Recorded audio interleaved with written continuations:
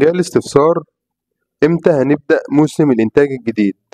طبعا موسم الإنتاج الجديد إحنا بنبدأه من بداية موسم الراحة وده اللي أنا شرحته في فيديوهات كتير وأوضحه دلوقتي مع حضراتكم.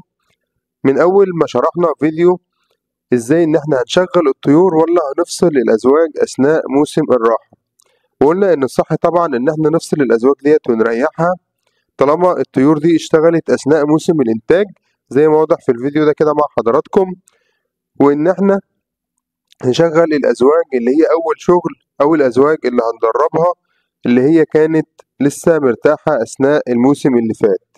دي اللي ممكن نشغلها أثناء شهور الصيف كتدريب ليها. بعد كده اتكلمنا عن خلطة الحبوب ومحاذيرها واتكلمنا عن مواعيد بداية موسم الإنتاج ومواعيد بداية موسم الراحة وقلنا إن موسم الراحة بيبدأ من أول شهر سبعة وتمانية وممكن إن إحنا نبدأ نشغل الأزواج بتاعتنا من أول شهر تسعة. طيب شهر سبعة وتمانية دول بنسميهم شهور تجهيز الطيور لموسم الإنتاج الجديد. كمان بعد كده اتكلمنا عن المطار وأهمية المطار للعصافير وإن طيران العصافير مهم جدا لزيادة مناعة العصافير وكمان زيادة خصوبتهم علشان يبدأوا موسم إنتاج جديد قوي جدا. وبعد كده اتكلمنا وقت في فيديو مخصوص إزاي إن إحنا ندرب الأزواج الأول شغل على الإنتاج وإزاي إن الأزواج ديت ممكن إن يحصل معاها مشاكل في أول عش وإزاي إن إحنا نبدأ نخليهم يتفادوا المشاكل ديت وندرب الطيور على إنها ترقد على البيض وتحضن وتفطم الفروخ وتبقى أزواج حاضين حنينة. ده اللي شرحناه في الفيديو اللي بعد كده. خطوات عمل أزواج حاضين حنينة جدا وإن الطيور المنتجة عندك تبقى طيور قوية جدا بإذن الله في الإنتاج ويكون إنتاجها غزير عن طريق مجموعة من الخطوات. لو الهاوي شاطر وذكي وفاهم إزاي يتعامل مع الطيور هيقدر إن هو من خلال التعامل مع الطيور يدرب. الطيور ديت على إنها تبقى حضين حنين ويساعد الطيور ديت على حل كل المشاكل اللي هتقابلها. من أول بقى إن الطيور ديت ترمي البيض أو إن الطيور دي ما ترقدش أو في في ضرب بين الذكر والأنثى أو إن البيض بعد كده لما يفقس يموت تحت الأنثى إزاي إن إحنا نحل المشاكل ديت إزاي نحل مشاكل تشوهات الفروخ أو الكساح. كل حاجة شرحناها في الفيديو دوت إزاي نتخلص من التمليح إزاي نساعد الطيور ديت على إنها تفطم الفروخ صح وما يحصلش أي مشكلة أو افتراس للفروخ. كل دوت إحنا بندرب عليه الطيور وعلى فكرة العصافير بيبقى آه الطيور عندها أو الفروخ بتاعتها حاجة كبيرة جدا وبتزعل عليها لكن هي مش بتبقى فاهمة وتبقى محتاجة من الهاوي إن هو يدربها على الإنتاج. طبعا بعد كده اتكلمنا عن حشرة الفاش وإزاي إن إحنا نتخلص من حشرة الفاش نهائي وطرق التطهير. وطبعا لازم لازم كنا نتكلم عن فيديوهات الإجهاد الحراري الإجهاد الحراري إزاي إن إحنا آه نعرف الأول إن الطيور ده عندها إجهاد حراري وإن الإجهاد الحراري ده ممكن يسبب موت مفاجئ للطيور. وشرحنا بعد كده مجموعة من الطرق نقدر إن إحنا نتغلب بيها على الإجهاد الحراري. من أول الخضروات وأحواض الاستحمام وكل حاجة ممكن نشتغل بيها مع العصافير زي الفيتامين سي اللي هو الفيتاسيد أو نشتغل بخل تفاح. أو نشتغل بوجبات زي الجزر وجبات فيها فيتامين سي كويس. كل دوت لمواجهة الإجهاد الحراري. نقدم خضروات طبعا والعصافير بتموت في الخضروات. كل ده حاجات هتساعدنا على إن العصافير ما يحصلهاش إجهاد حراري. وطبعا اتكلمنا عن أهمية أحواض الاستحمام وإزاي إن إحنا نعمل أحواض الاستحمام ونجهزها للعصافير. وايه أهميتها لمواجهة الإجهاد الحراري الشديد علشان العصافير ما تقعش أو تموت مننا. وبعد كده اتكلمنا عن مشاكل الهاموش والدبان اللي بتحصل نتيجة إن إحنا بن بنقدم الأكل غلط للعصافير خصوصا الأكل الطري. ده بيسبب إن يبدأ يظهر هاموش في المزرعة وإزاي إن إحنا نتخلص منه إيه؟ الطريقة الصح لتقديم وجبة الطري بمختلف أشكالها وأنواعها سواء بيض مسلوق أو سواء وجبة مسلوق أو منقوع أو مستنبت أو مبشور خضروات. كل الوجبات ديت بتتقدم لفترة معينة بكمية محددة في ميعاد ثابت يوميا بحيث إن إحنا نخلي الطيور تستفيد منها وما تتضرش بسبب إن ال ال الوجبة تبوظ من درجة الحرارة المرتفعة وتبدأ إن هي تكون هاموش. بعد كده طبعا اتكلمنا عن مشكلة المسائي لأن المشكلة دي كبيرة جدا في الصيف وبتسبب إن الفروخ تموت مننا. كل دي فيديوهات مهمة إحنا اتكلمنا عنها عشان نجهز عصافيرنا لموسم الإنتاج ونشتغل معاهم صح خلال شهور الصيف.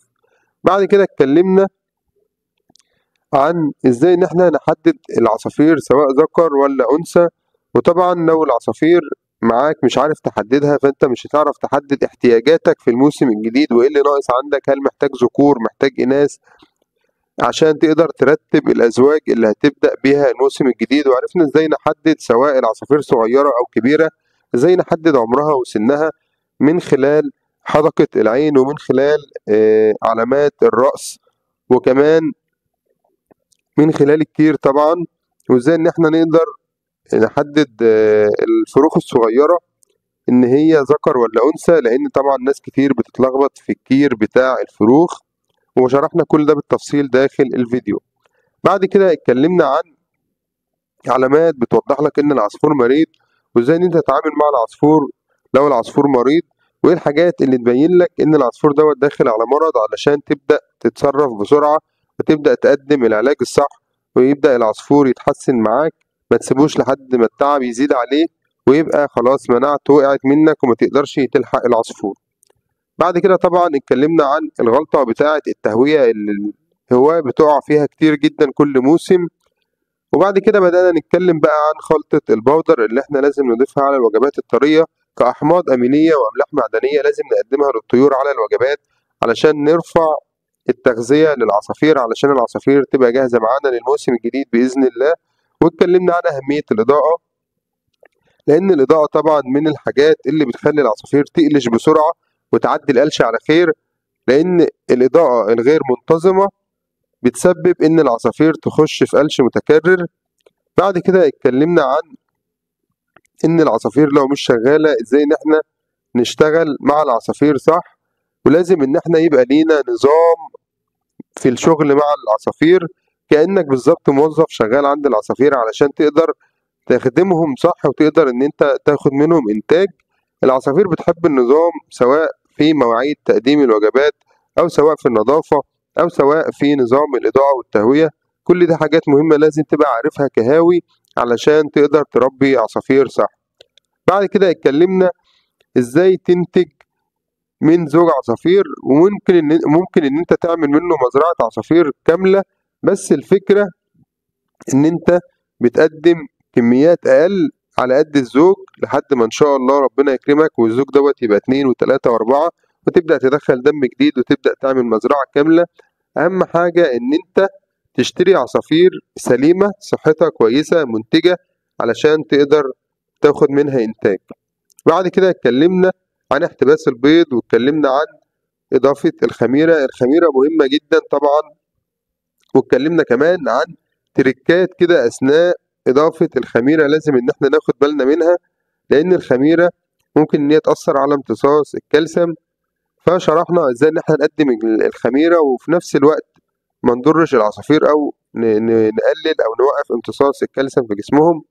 والخميرة مهمة جدا كبكتيريا نافعة ومهمة كمان كتغذية عالية للعصافير وكمان بتزود حجم العصافير وبتساعد العصافير على رفع المناعة أو تعزيز المناعة.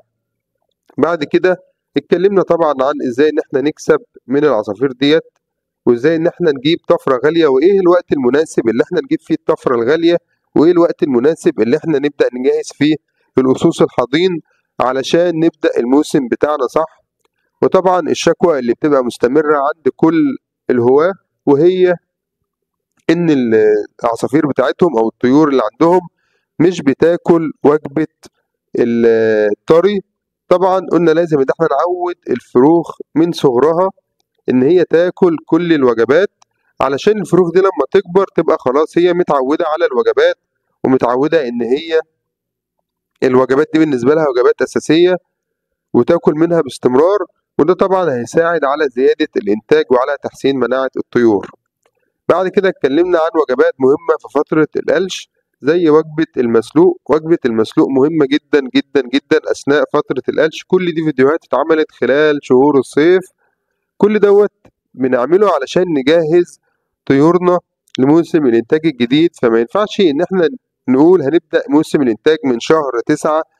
لا المفروض إن أنت حضرتك بتبدأ تجهز طيورك لموسم الإنتاج من أول شهر ستة وسبعة وتبدأ أنت تشتغل مع الطيور علشان تاخد منهم موسم إنتاج ناجح بإذن الله.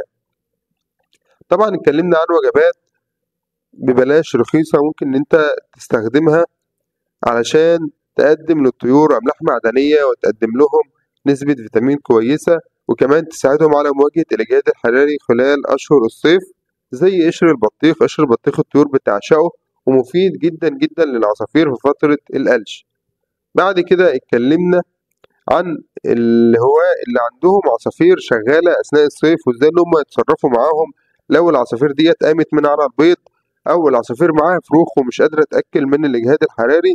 شرحنا كل ده في الفيديو ووضحنا إزاي إن أنت تقدر تساعد الأزواج ديت إن هي تنتج وتبدأ تشتغل معاك في الصيف. وأنا أصلا مش برجح ده لكن لو كانت الأزواج لسه ما خلصتش القش اللي معاها فقلنا إزاي إن أنت تتصرف معاها بطريقة صحيحة. طبعا اتكلمنا عن التغذية وقلنا إن التنوع في التغذية صح وإيه اللي أنت ممكن تعمله للعصافير أو تقدم لهم إيه في التغذية وإيه الغلط على حسب طبعا كل وجبة وعدد المرات الصح اللي إحنا بنقدمها في الأسبوع لأن الوجبة لما تزيد عن حدها ممكن إن هي تسبب أمراض للعصافير زي أمراض التليس والتشحيم.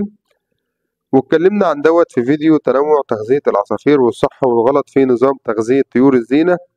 وبعد كده عملنا جدول كده بسيط إزاي إن إحنا نقدم للعصافير أكتر من وجبة في اليوم وكمان إزاي إن إحنا ننوع في وجبات الطارق خلال الأسبوع علشان نقدم للعصافير أعلى تنوع في التغذية بإذن الله.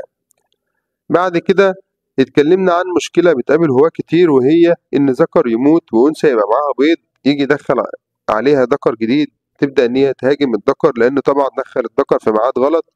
فلازم إن إحنا نعرف إزاي إن إحنا ندخل الذكر وإمتى علشان العصفورة تبدأ إن هي تقبله والمفروض إن الأنثى هي اللي تخش على الذكر مش العكس علشان نقدر إن إحنا نعمل توالف بين الزوج ده. وشرحنا بعد كده أهوت إزاي إن إحنا الأزواج بتبقى متوالفة لكن مفيش إنتاج وإيه المشاكل اللي ممكن تقابلك من فزع وخوف العصافير نتيجة أصوات نتيجة إضاءة غير منتظمة نتيجة مثلا أصوات مستمرة في الشارع صوت كلاب عند الجيران الكلام ده كله. حاجات ممكن تخلي العصافير ما تنتجش مع إنها متوالفة وبتخش العش وبتأكل بعضها وبتعمل كل علامات التوالف وعلامات وضع البيض لكن هي الأزواج بتبقى خايفة. إزاي إن إحنا بقى نحل المشاكل ديت ونقدر إن إحنا نشغل عصافيرنا تحت أي ظروف؟ والحمد لله دي من المشاكل اللي قابلتني وقدرت إن أنا أتغلب عليها. الحمد لله.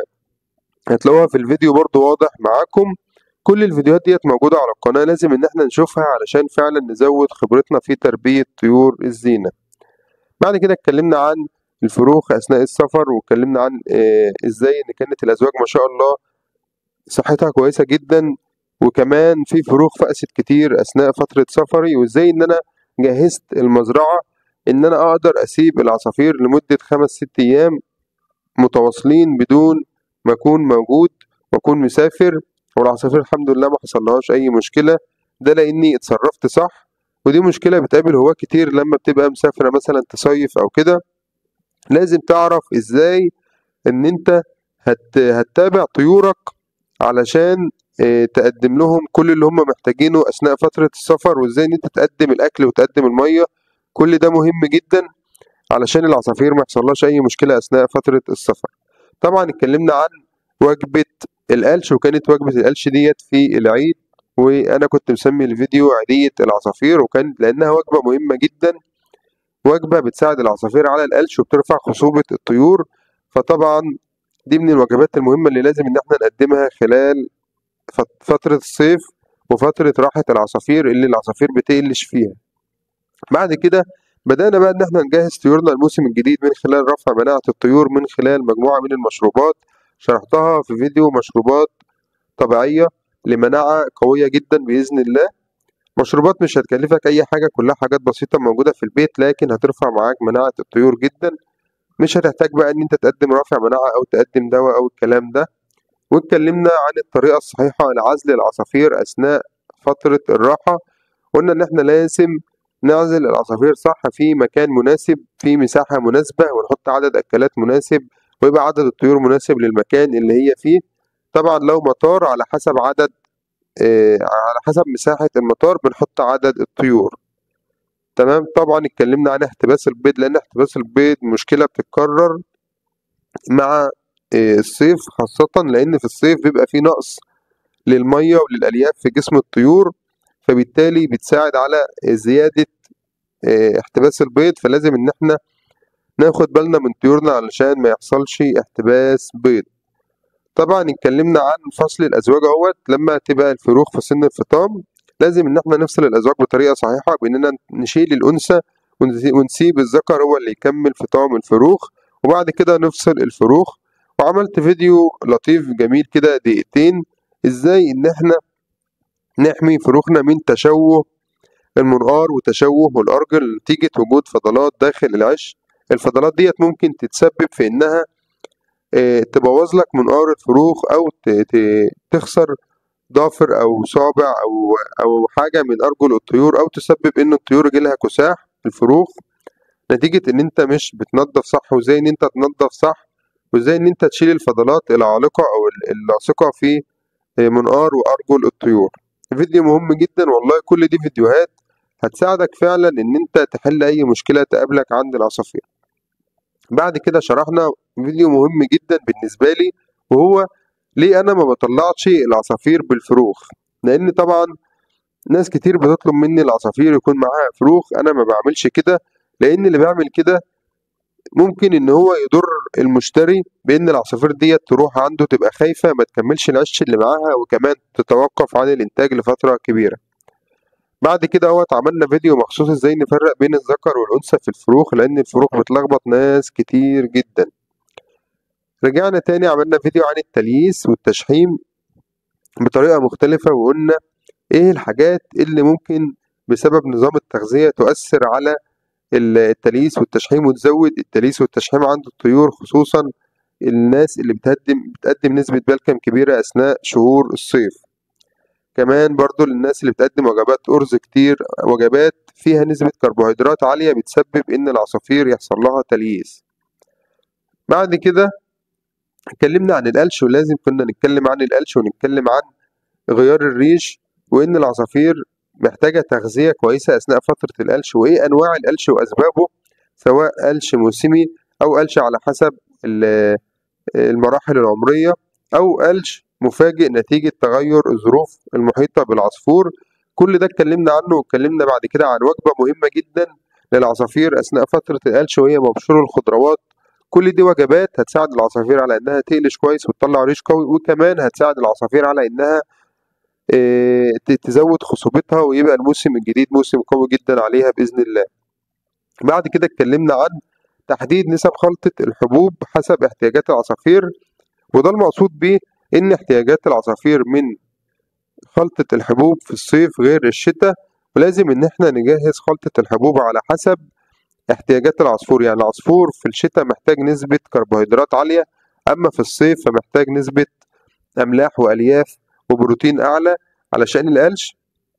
طبعا البروتين مهم برضو في فترة الإنتاج ولكن المشكلة كلها بتبقى في نسبة الكربوهيدرات لازم نغيرها في خلطة الحبوب من خلال تقليل البلكم في الصيف وزيادة نسبة البلكم في الشتاء.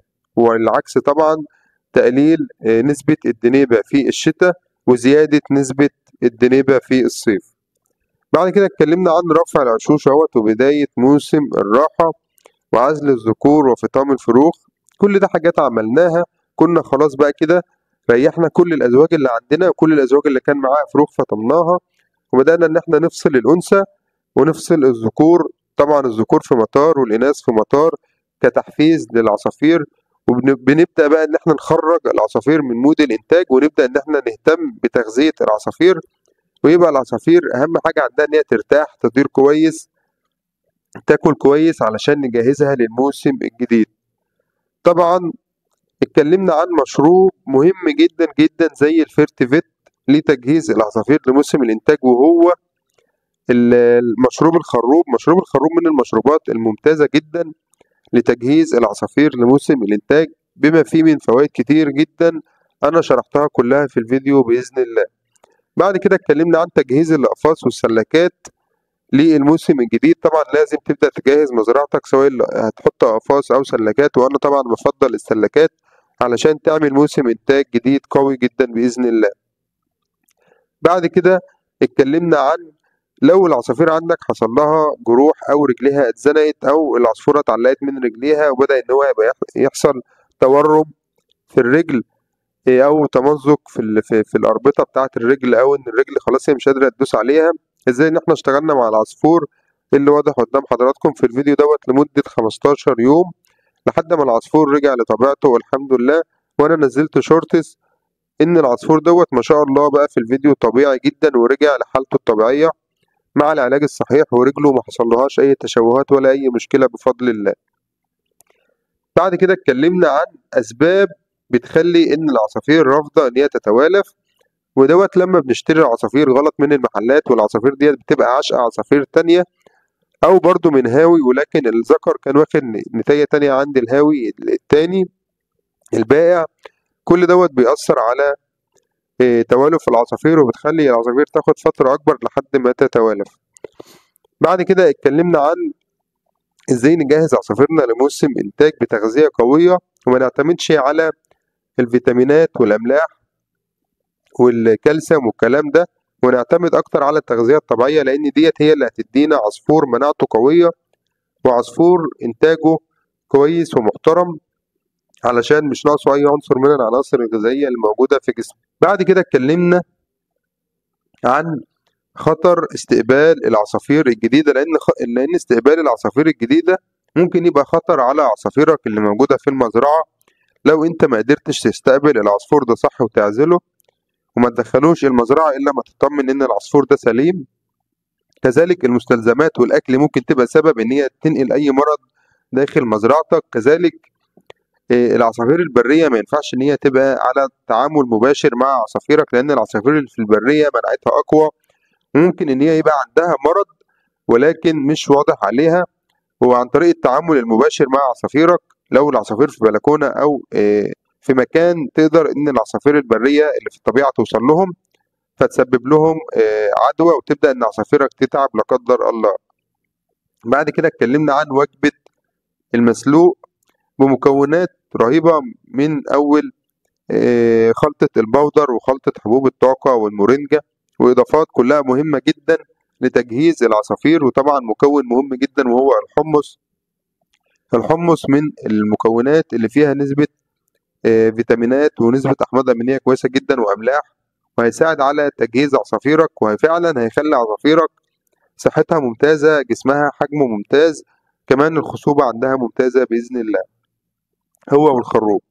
طيب بعد كده اتكلمنا عن الفيتامين علشان الناس اللي عايزة تقدم فيتامينات قلنا إن الفيتامينات آه بنقدمها آه في آه وقت معين أثناء تجهيز العصافير للموسم واتكلمنا عن فيتامين بشري رخيص اسمه الألبافيت. الألبافيت دوت بيساعد عصافيرك على إنك تجهزهم وهو يعتبر كرافع مناعة وفيه فيتامين د وفيه كالسيوم. ويساعد عصافيرك على إن هي ميبقاش عندها أي نقص في العناصر الغذائية وتبقى داخلة جاهزة للموسم بإذن الله. بعد كده اتكلمنا عن مرض رهيب شفته بكثرة جدا في مزارع كتير أثناء زياراتي لمزارع اللي أنا إيه بيطلب مني إن أنا أراجع الطيور وأفحص الطيور وأجهز الطيور لجوازات جديدة في المزارع دي. مرض الفطريات أو الأشف أو الجرب أو الجدري كل ده مرض بيطلق على مرض خبيث بيسبب إن عصافيرك تتوقف عن الإنتاج وإن الفروخ عندك تموت وممكن الأهالي بعد كده تموت لو أنت ما اشتغلتش صح وبدأت إن أنت تعالج الطيور بتاعتك. بعد كده اتكلمنا عن غلطة مهمة جدا وهي تخزين الحبوب. تخزين الحبوب من الحاجات المهمة علشان تطمن إن أنت بتقدم حبوب سليمة لعصافيرك. تخزين الحبوب دوت ممكن إن هو يكون سبب إنك يحصل عندك موت جماعي داخل المزرعة لا قدر الله لو أنت اشتريت حبوب غلط أو حبوب مش سليمة أو إن أنت خزنت الحبوب غلط والحبوب باظت منك. كل دوت ممكن يكون سبب في إن العصافير تموت منك لا قدر الله.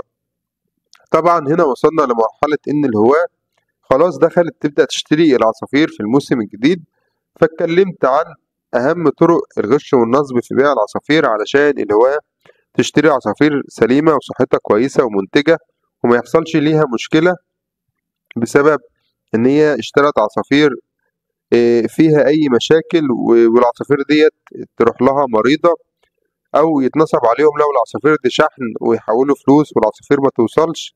كل دي مشاكل بتقابل الهاوي الجديد بتخليه إن هو يكره الهواية من قبل ما يدخلها. واتكلمنا إنك كهاوي جديد ما ينفعش أنت تروح تجيب أسوس ب 2000 وأكتر من كده لأن طبعا أنت مش هيبقى لسه عندك خبرة إن أنت تتعامل مع الأسوس ديت أو تنتج منها أو تعالجها لو تعبت منك.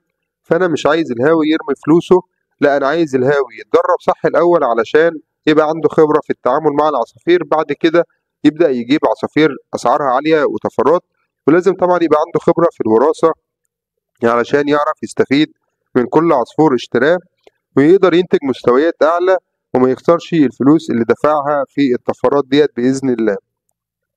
كل دي فيديوهات موجودة على القناة وكل دي معلومات الحمد لله الواحد بيقدمها على القناة علشان تفيد الهاوي وفعلا يبقى هاوي عنده خبرة وشاطر في الهواية. أرجو إن إحنا نرجع نشوف الفيديوهات ديت لو عايزين نبدأ موسم إنتاج صح ما ينفعش إن إحنا نبدأ موسم إنتاج وإحنا ممرناش بالخطوات ديت. أنا بحاول إن أنا أشرح كل معلومة أقدر إن أنا أوصلها للهاوي علشان الهاوي ما يبقاش عنده حاجة مش واضحة أو أو حاجة هو مش فاهمها في التعامل مع العصافير. يا رب أكون بقدر أفيدكم وأقدم لكم معلومة مفيدة وكل دوت والله أنا بعمله لوجه الله وابتغاء مرضات الله. شكرا لكم أخوكم أحمد إبراهيم من قناتكم هوا عصافير الجنة والسلام عليكم ورحمة الله وبركاته.